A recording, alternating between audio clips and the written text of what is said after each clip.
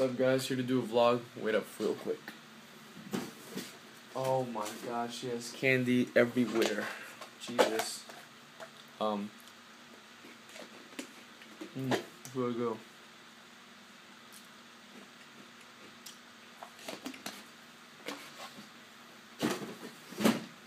So, I have a couple things to say. Um, if your review's up, you probably already noticed. Um, if you're watching this video, go check it out. Um, Crows. I made a mistake. Doesn't come out tomorrow like I thought, which was very exciting. I was very excited. Um, but yeah, it's not coming out tomorrow. Coming out next week. Um, which is still cool. Taproot's also coming out next week. If anybody knows Taproot, they're a really cool band. I heard uh, one of their albums. Pretty. I mean, unoriginal.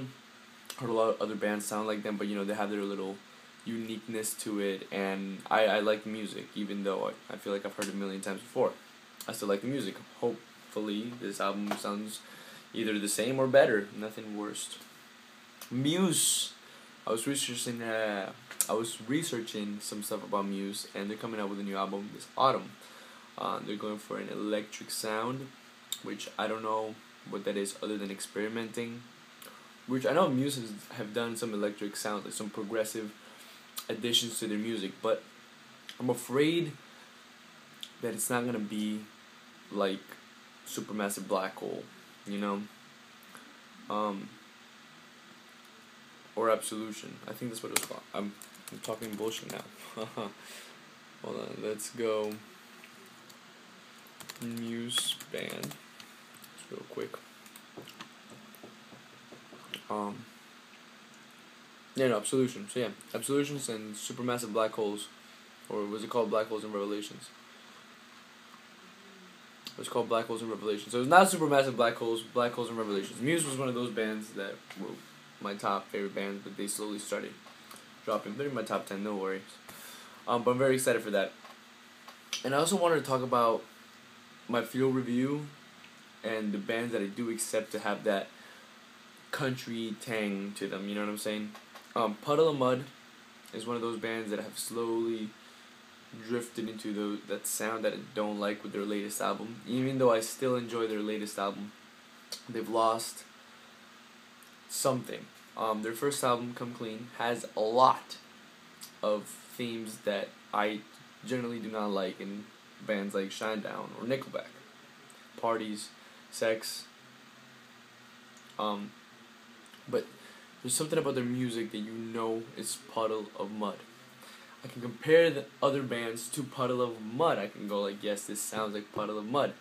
Um, the voice, the singing, the riffs, the catchiness, even though they speak of such mainstream bullshit themes, I can sing along and it still has passion. It has passion. I feel the passion in the music, and sometimes I don't care for um, for other bands' music when they talk about the same theme as Puddle of Mudd would.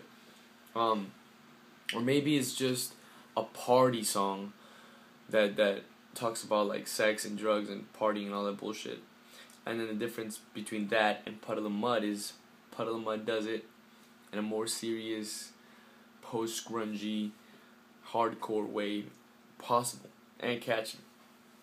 So I don't know what I'm trying to get at here. I'm just letting you guys know I don't hate uh, that type of music. I just don't enjoy listening to it. And the only one I do listen to is Puddle of Mudd. I mean, to be honest with you, that's that's all I accept.